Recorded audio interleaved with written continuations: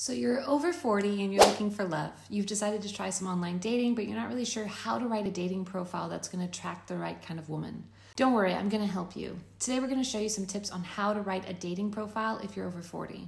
Be honest and authentic. Don't try to be someone you're not. Just let your personality shine through. Be positive and upbeat. No one wants to date someone who's negative. Be specific about what you're looking for. What are you looking for in a partner?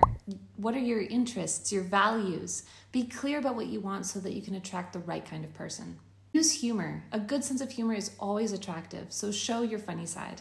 Get feedback from friends and family. Once you've written your profile, ask your friends and family for feedback. This can help you spot any red flags or areas that could be improved.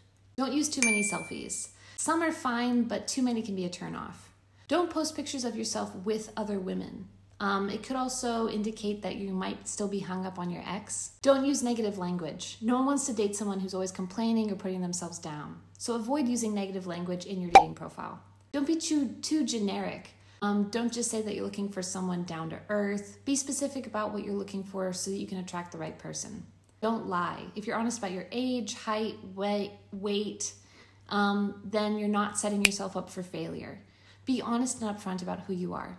So, those are a few do's and don'ts for writing a dating profile after 40. Just be yourself, positive, and specific. Who knows, you might find love.